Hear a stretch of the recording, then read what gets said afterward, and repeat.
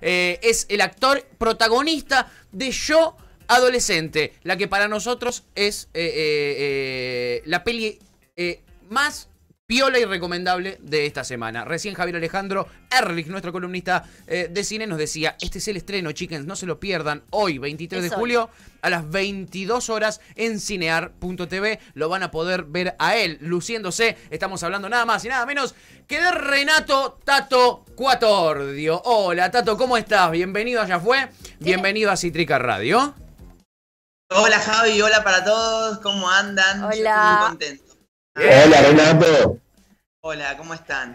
¿Todo bien vos? Muy, bien, muy bien eh, y un poquito ansioso. Ya llega el día de estrenar la película, yo adolescente, así que nada, compartiendo con todo el elenco, con el director, con la gente que formó parte de la peli, ya estamos como así en el grupo de WhatsApp hablando de, lo que va a ser este día especial de, estreno, de estreno online por, por Cinear. Así que nada, haciendo todos los preparativos. Sí. Y bueno, con ganas ya que la gente se encuentre con la peli.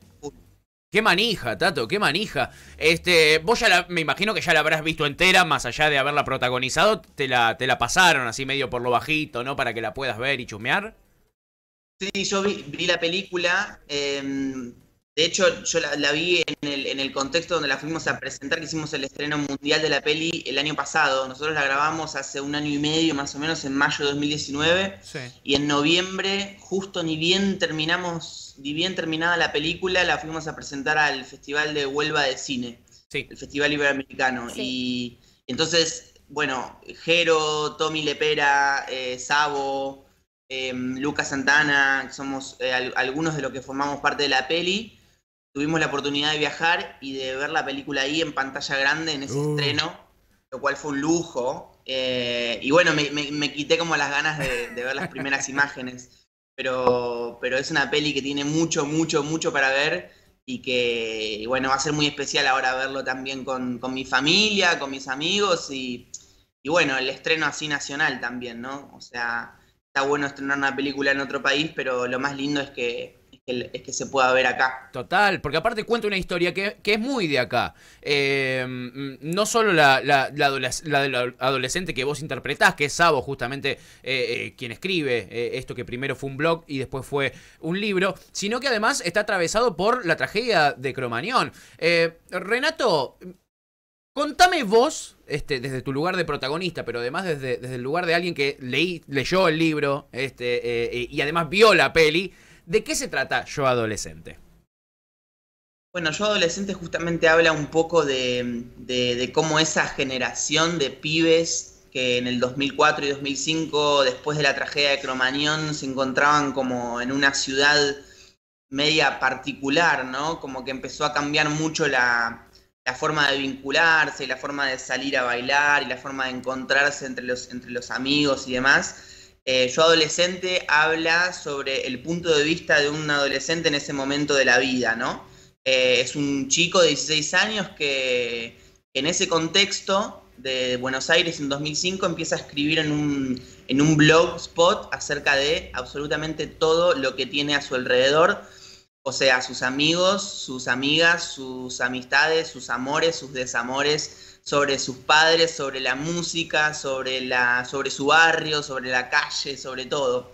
Em, entonces es como una, historia muy, muy completa con el punto de vista de este chico, que, a partir de, lo que escriben en, su blog, que es como el, comienzo de, la peli, el espectador empieza como a conocer ese mundo y también a conocerlo a él, porque me parece que hay algo así súper especial que tiene la película en relación a lo que pasa y lo que el espectador eh, puede ver, que es ese diálogo que hay entre el protagonista, que es el que nos va contando un poco su punto de vista en la historia, ¿no? Y, bueno, es un año en la vida de este chico que, bueno, tiene como el punto de partida em, ese contexto, ¿no? Y, cómo él trata de atravesar esos, ese momento, eh, bueno, conociéndose a sí mismo y, y conociendo un montón de gente a su alrededor. Total. Más allá de que, bueno, de, que es, la peli desarrolla cómo viven los adolescentes en un momento súper particular y bisagra también, ¿no? en nuestro país, que también marcó un antes y un después en las salidas y cómo se manejaban los boliches y la situación nocturna. ¿Vos qué, qué cosas ves de, de- de similitudes en tu adolescencia y en la adolescencia de, de este joven que, que interpretas. Mm, in- Independientemente de la noche, también habla de la sexualidad, habla de la depresión, habla de eh, la relación con, con los padres, cómo, cómo, qué cosas decís, che, bueno, mi juventud y mi adolescencia la viví exactamente igual y qué cosas sentís que nada que ver.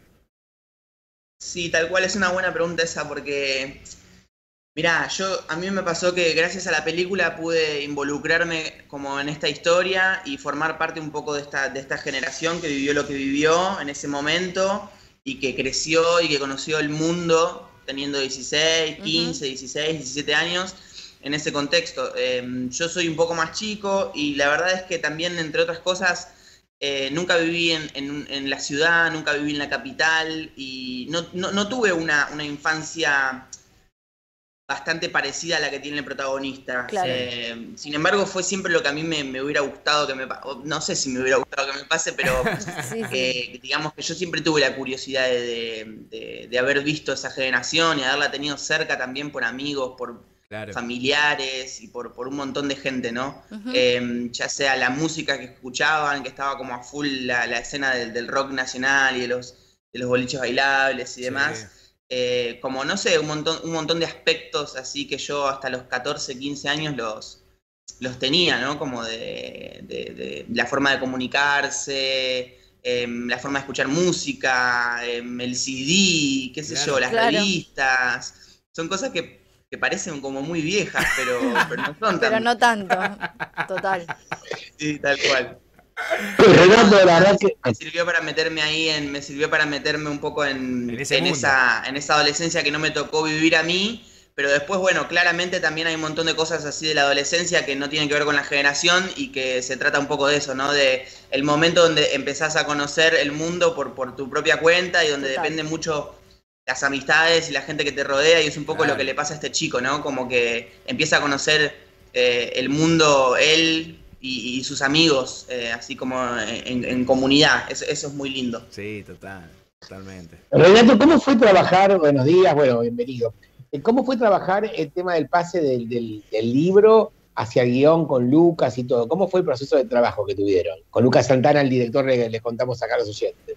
Sí, mira, eh, nosotros, yo me encontré primero con, con- con el resumen de la, de la historia, no, no conocía a Sabo y no sabía que era la adaptación ni del libro ni del blog en su momento. Sí. Así Sí. que se armó como una, una mezcla entre tres ahí muy loca, como que se rompió un poco el tiempo-espacio. Yo siempre digo que está, lo, está la vida de Sabo que fue, digamos, como el origen de todo. Está lo que él escribe en su momento, en 2004-2005, que de hecho hay un montón de gente que, que siguió en su momento la historia y que conoce yo adolescente Sí. hace un montón de años, Sí, porque sí. se acuerda del blog. Del de Sabo. Claro, em, y después está la película, y ahí en el medio está la decisión de Lucas de cómo contarlo, y en el medio estoy yo, y el resultado es ese universo que encontramos en la película, que es una mezcla de la vida de Sabo, porque yo me vengo como a, a mezclar un poco con él, Sí. una mezcla de la decisión de Lucas de cómo contar la historia. eh, Y también, bueno, lo que yo le aporto desde mi lugar a, a este personaje se termina como generando este monstruo cinematográfico que, que es una mezcla de todos. Pero la verdad es que empezamos a trabajar eh, con el guion y fue todo el trabajo hecho acerca de, a- digamos, eh, con el guion y, y con la película. Porque como te digo, el libro, el momento que nosotros Sí. la estábamos haciendo no estaba editado todavía. Ah, Eh, entonces fue muy importante, yo hablé muchas cosas con Sabo, pero más que nada eh, cosas personales, como de entender cómo había vivido esa generación, ese contexto y de algunas eh, cositas que por ahí a mí se me escapaban y Sí. que necesitaba también tener el, el, digamos, el, el registro en primera persona, que alguien me lo cuente y que me diga realmente, viste, un montón de cosas íntimas que tiene el personaje, que yo las hablé con, con Sabo, pero para tratar de, de sumar, ¿no? Después fue más que nada el trabajo sobre el guion y, y trabajar mucho con Lucas en, en el material que teníamos, porque también es una adaptación de, de- de una novela que tiene muchos personajes y que no era lo mismo Claro. eh, a la hora de hacer la peli. Em, digamos, nada, teníamos, teníamos que también inventar un mundo nuevo. Claro, Total. claro. Estamos hablando con Renato Tato Cuatordio, él es actor, es el protagonista de Yo Adolescente. Eh, hoy, hoy se estrena a las 22 en Cinear y después queda gratis para que la sigan viendo. Eh, es, es pibe, Renato, a pesar de que lo conocemos hace un montón de tiempo, tiene 22 años, el sinvergüenza. Este, y ha hecho de todo. Eh, lo hemos visto en Disney, lo hemos visto en Simona, eh, esa exitosa serie de Canal 13, y ahora en esta peli. Eh, Tato, vos que eh, encontrás diferencias a la hora de hacer, por ejemplo, una serie eh, para, para un canal como Canal 13, después, bueno, para, para Disney, y de repente una peli, ¿hay un laburo diferente que hace el actor eh, ahí, que hiciste distinto? ¿Hay algo diferente que vos encontrás? ¿O, o- o para vos es todo lo mismo, el laburo y va para adelante? No, eh, sí, hay, hay algunas diferencias, hay varias diferencias el hecho de hacer televisión o, o de por ahí hacer una, una película. Eh, Yo, es cierto, hace varios años que venía como en el registro más televisivo, Claro. con, con lo de Disney, con lo de, con lo de Once y después con lo que fue Simona y todo lo que siguió después. Eh, pero sí, yo creo que principalmente, creo que lo más importante es tener un poquito más de tiempo para trabajar. Si Claro. bien eh, hay por ahí oportunidades donde tenés mucho tiempo y los rodajes por ahí duran, no sé, dos, tres meses, Claro. ¿viste? alguna excepcionalidad. Eh, y también es cierto que hay un tema de costos de que cada vez hay por ahí menos tiempo para, para producir una película, pero sí que no es lo mismo, ¿viste? Por Claro. ejemplo, no sé, tener la oportunidad de, de ver al elenco mucho tiempo antes, de encontrarte con el libro. Yo tuve, la- como te digo, la oportunidad de reunirme y hablar con Sabo más de una vez antes de, antes de empezar a grabar, un poco por, por decisión nuestra, ¿no? Pero también a la hora de, de- de contar una historia. eh, hay un poco más de tiempo y se le da un poco más de lugar a, a todo, ¿no? Desde la puesta de la cámara, la Sí. luz y un montón de cosas. Sí. Eh, lo, cual, lo cual, bueno, yo tuve que, que- que adaptarme, te digo, porque tenía ganas y tenía mucha, mucha ilusión, de, de- de- así como del mundo del cine, Sí. pero, pero bueno, fue un proceso, fue un proceso porque, como te digo, yo, yo venía a hacer mucha televisión Claro. eh, y bueno, eh, tuve, tuve que pasar de un lugar a otro. Por, por suerte, justo el, el proyecto que, que- anterior que yo había hecho antes de este era El Mundo de Mateo, que era como Sí. una situación medio intermedia, porque Claro. no, era una- no fue una película, pero sí que la forma de trabajar se empezó, me, me empezó a acercar un poco eso, ¿no? Como Claro. esperar a que se ponga la cámara y cambiar el lente y, y bueno, y estar por ahí todo un montón de tiempo en un lugar hasta que una escena salga. Sí. eh, y poder como, nada, eh, sacarse la ansiedad, viste, de querer hacer una cosa y la otra y la otra, Claro, claro. como, como, es, como es la televisión. Claro, es inmediatez ¿Cómo? de la tele. La verdad que sí, un, un, trabajo, un trabajo impecable. ¿Cómo fue que quedaste vos como el tema del casting? ¿Cómo surgió tu trabajo? El rol protagónico es el tuyo. Los chicos están bárbaros y todos recompletos, y todos son actores y todos de- del palo teatral, Sí. de cine. Pero ¿cómo quedaste vos como en el proceso de casting? Sí, la verdad que el elenco. Sí, hubo casting, hicimos casting para todos, todos los personajes que están en la película eh, hicieron casting. Fue bastante largo, creo, el proceso de, de- buscar a los personajes y, también al protagonista, porque estaban, bueno, eh, dando vueltas hasta, hasta poder hallar eh, la forma de, bueno, de, de- de poder en- encontrarlo. Em, pero la verdad es que sí, todo el elenco no solo son actores y actrices, sino que la verdad es que tienen un, un nivel y un compromiso también con la historia que, que fue alucinante. Fue como que se formó, esto, viste, a mí me, no, no, a veces hasta no me gusta decirlo, pero es así, con Yo Adolescente desde el primer momento se formó un grupo bastante especial donde, donde cada uno se involucró mucho con, con los personajes y con la historia también, como que creo que todos en el elenco, todos pudimos eh, conocerlo a Sabo y nos sentimos muy interpelados con la historia y eso creo que, bueno, eh, sirvió, sirvió para, no solo para que lo disfrutemos mucho, porque es algo que, que lo disfrutamos mucho de hacer, sino también porque el resultado Está bueno. está, está muy bueno. Claro. Pero sí, hay algo muy gracioso de, de la forma en que yo llego a- al, al personaje más que al, al- al proyecto, que es que a mí me Sí. llega el mail y me invitan a participar del casting y me mandan una escena con, con que, que, bueno, que estaban Sabo y Ramiro yo de forma muy natural y automática interpreto que a mí me estaban llamando para Sabo. En ningún momento me, se me cruza por la, por, por- por la cabeza otra posibilidad que no sea esa. Sí. Y en el mismo día que voy a llegar al casting, eh, chequeo bien el mail y veo que dicen te buscan para el personaje, para otro personaje. Y digo, no, esto no, esto no puede ser. Esto está mal. Digo, yo hace un día y medio que vengo eh, metiéndome en la cabeza esto y ahora resulta que me buscan para otro personaje. Y cuando llegué se lo dije al director de una, le digo a Lucas, che, eh, te voy a contar mi confusión. A mí me pasó que, que- que mi- la verdad es que por forma natural pensé que, que lo iba a hacer a Sabo. Sí. Me dice, bueno, está bien, eh, interpretá los dos, a- a- probemos un poco y un poco. Bien. Y entonces yo me mandé y Sí. hicimos las dos escenas de los dos lugares y a las un par de semanas em, recibo el llamado de que, de que me habían elegido para Sabo y de que, bueno... Eh, Qué bueno, qué grande. sí, sí. Y yo no sé si son casualidades o causalidades, ¿viste? Quizá un Por poco ahí y si no poco. se lo decía terminaba distinto. Claro, claro, seguramente, seguramente. Esas Eh, cosas que uno, que uno, viste, las va a buscar inconscientemente. Claro, claro. Fue, no- no fuiste vos, fue tu subconsciente. Total. Tato, ¿qué, qué, Completamente. qué Sí, te sí, gustaría sí, sí, que sí. suceda a partir de mañana después de- del estreno de la película? Digo, ¿qué, qué mensaje te gustaría que llegue? ¿Te gustaría que, que genere cierto, cierta modificación en alguien? Hay como una frase muy linda que, que, que dice Sabo y, y que está muy bien puesta en la película, que es, debe haber alguien en alguna parte del mundo que se sienta igual. Eh, ¿Crees que va a haber mucha gente y muchos adolescentes que van a, a sentirse de esta manera y acompañados un poco por el mensaje de la peli?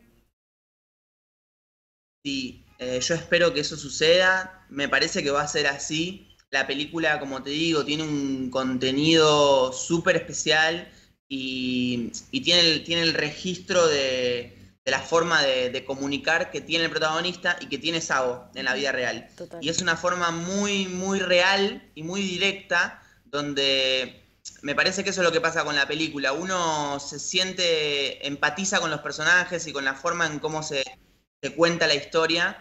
Entonces me parece que, que sí, que los pibes se van a sentir súper eh, identificados con, con esta historia por un montón de cosas. Eh, más allá del mensaje final, digo, el, el transcurso de la película eh, está bueno, está bueno vivenciarlo y está bueno compartirlo y poder, y poder conocer la historia, pero sí, tal, tal cual, la película está llena de esas frases eh, como la que vemos ahí, que dice alguien en alguna parte tiene que estar pasando por lo mismo, y un montón, y un montón más, que, que yo creo que eso tiene que ver con, con la forma en que Sabo escribió este blog en su momento y se ven claramente en la película, pero sí creemos que nada, es- está, está bueno también que, que- que una película nos invite a reflexionar y nos invite a repensar un montón de cosas, porque se habla de música, se habla de rock, se habla de amigos, se habla de jodas, se habla de, bueno, de un montón de cosas, pero también se habla sobre una- un protagonista que está deprimido y que no sabe cómo, cómo, cómo enfrentarse con esa situación y que un montón de cosas las hace para tapar esos miedos y ese dolor que tiene y hay por ahí un montón de temas que desde la adultez no se interpretan como importantes, pero por ahí para un chico sí son importantes. Claro, claro. Y, y bueno, la película es como una imagen sin tapujos de, de cómo, de cómo puede ser vivida la vida por un adolescente y cómo puede ser entendida desde la cabeza de un pibe que tiene 16 años y que está conociendo el mundo eh, en ese momento. Así que sí, me parece que es una peli que, que se presta también para el debate posterior y la verdad que eso está bueno, me, me gusta que coincidan las dos cosas. No se olviden. Hoy estreno nacional 23 de julio a las 22 horas en Cinear TV con él, con Renato Cuatordio, eh, protagonizando esta peli eh, de rechupete Yo Adolescente. Recién Tato decías, hablabas de, de la música, ¿no? Del rock, que es algo que está muy presente en la peli, eh, es un clima que, que acompaña a toda la peli y te voy a sacar un poquitito de Yo Adolescente, quiero ir a vos, joven adulto, Renato Cuatordio. ¿Cuál es el último tema que escuchó Tato en su casa? Eh, ¿Qué estaba escuchando ayer? Eh, bueno, hace poco me puse la playlist de Yo Adolescente, Sí. que tiene como de una mezcla, aparte de, montón de, can- de- de, no sé, de música que yo no conocía Sí. y, que conocí, pero es como una mezcla entre Árbol, Peipaco, Ataque People. 77, em, no sé, Airbag, Sí. eh, y un montón de y un montón de cosas así. ¿Puedes creer? Mira, me da un poco de vergüenza. Decilo, me decilo. me- no, no, vergüenza porque digo, ¿cómo puede ser? Pero me puse mm, la de la de ataque arranca corazones. Sí, clásico. ¿Está bien? ¿Vale eso en cuarentena o tipo suicidio? Y es, es heavy. Es un poco Es un border, poco. es un poco border. Es un pero- poco Es de Border, border, Tato. boludo, pero viste que hay una parte que dice quiero intoxicarme en vos. Sí, sí. sí. Es muy border Bueno, ese la tema. pandemia y la Claro. intoxicación. Estamos como que, no sé, ya, ya, ya, ya fue, ¿viste? Sí, sí. Como el programa, como el programa. Como Ya este programa fue. se llama Ya fue, olvídate. Intoxiquémonos. Ya a fue, olvídate. Eh, la Y si verdad. arranca corazón en ataque, un papelón. No, no, está bien, está bien. Los clásicos nunca mueren, Tato querido. Eh, eh, Renato Cuatordio, con ese carisma, con esa amabilidad, contándonos sobre yo adolescente y sobre él también un poquitito lo queríamos conocer, queríamos saber qué andaba chusmeando, qué andaba escuchando. Eh, Tato, eh, nos estamos quedando sin tiempo, te agradecemos, sabemos que estás a pleno con las notas, estás promocionando eh, eh, esta peli que se estrena hoy a las 22 en cinear.tv, así que no, te, no te jodemos más, te agradecemos mucho por la nota y te mandamos un abrazo enorme. Bueno, chiques, a- para los tres, eh, gracias por la nota. Está bueno también Gracias poder comunicar esta peli. Los invitamos a todos a que no se pierdan hoy el estreno en la televisión a las 10 de la noche por, por Cinear. Y después también la peli va a estar una semana en Cinear Play de forma gratuita. Perfecto. Así que, bueno, acá estamos muy contentos esperando la peli. Les agradezco mucho la nota. Eh, y bueno, saben que me interesa y me gusta mucho la radio, así que por ahí en algún momento podamos compartir el espacio. ¡Oh, me vuelvo loco! Mira, por acá, ¿Cómo me voy? Las por puertas acá- abiertas. Por acá ya pasó tu compañero Tomás Wicks, así que ¿quién te dice que no agarramos a todo el elenco de Yo Adolescente Tal cual. y lo metemos Hacemos acá? un. Programa. Mirá que el elenco es numerosísimo, así que Bueno. puedes hacer un año y medio, podemos tirar un año y medio más hablando Ya sobre eso. Olvídate, olvídate, voy a estar atento. voy a estar atento. Eh, Tato, te mandamos un abrazo grande. Bueno, gracias, un beso para todos. Gracias. Tato, gracias. Renato Tato Cuatordio, eh, el protagonista de Yo Adolescente, que se estrena hoy a las 22 en Cinear TV. Y se repite también, eh, el 25 de julio a las 22 también en Cinear TV. Así no es. se lo pierdan, es el gran estreno de esta semana.